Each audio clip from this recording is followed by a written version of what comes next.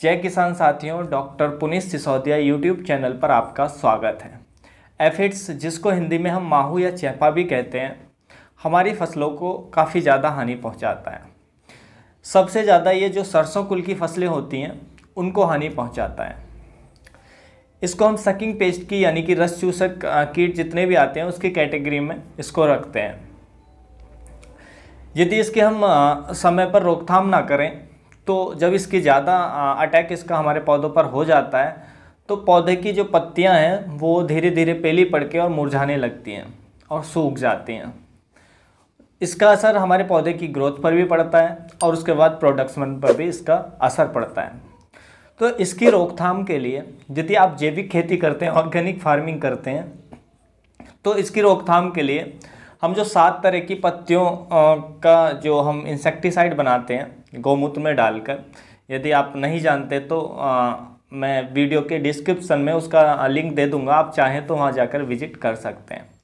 तो एक लीटर तो हम वो लेते हैं जो हम सात तरह की पत्तियों से जो इंसेक्टिसाइड बनाते हैं एक तर, एक लीटर वो लेते हैं और एक लीटर हम खट्टी लस्सी जो हमारी दस या पंद्रह दिन पुरानी हो खट्टी हो जितनी ज़्यादा पुरानी हो, उससे ज़्यादा और अच्छी रहेगी। तो एक लीटर वो लेंगे, दो लीटर एक टंकी में डालकर, सोलह लीटर की में, और उसके बाद उसे पानी से भरकर, यदि हम स्प्रे करते हैं तो एफिड्स आपके एक या दो स्प्रे में ही एफिड्स बिल्कुल ख़त्म हो जाएगा। बहुत ही अच्छी दवाई है।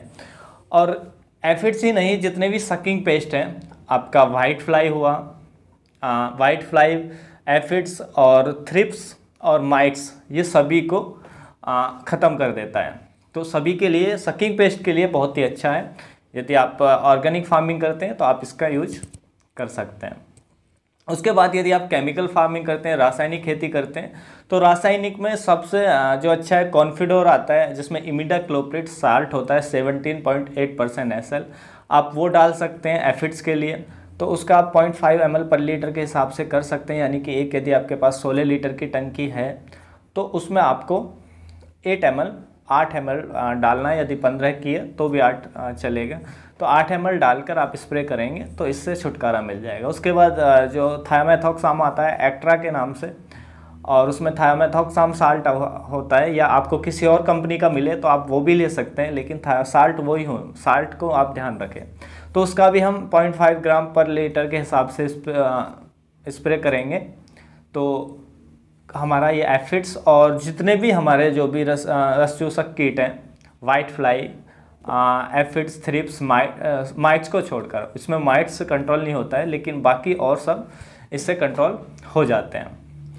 तो किसान भाइयों, यही था मेरा वीडियो एफिड्स पर। यदि आपको जानकारी अच्छी लगी तो प्लीज़ लाइक कर दीजिएगा और यदि आप चैनल पर नए हैं तो चैनल को सब्सक्राइब कर दीजिएगा ताकि आने वाली सभी लेटेस्ट वीडियोज़ की नोटिफिकेशन आपको समय से मिल जाए। फिर मिलूँगा आपको किसी और नई जानकारी के साथ। तब तक के लिए आप अपना ख्याल रखें। धन्यवाद।